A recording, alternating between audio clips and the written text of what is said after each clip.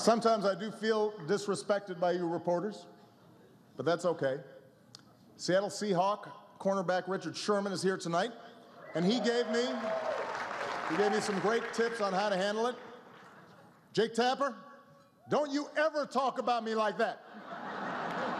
I'm the best president in the game. What do you think, Richard? Was that good? A little more feeling next time?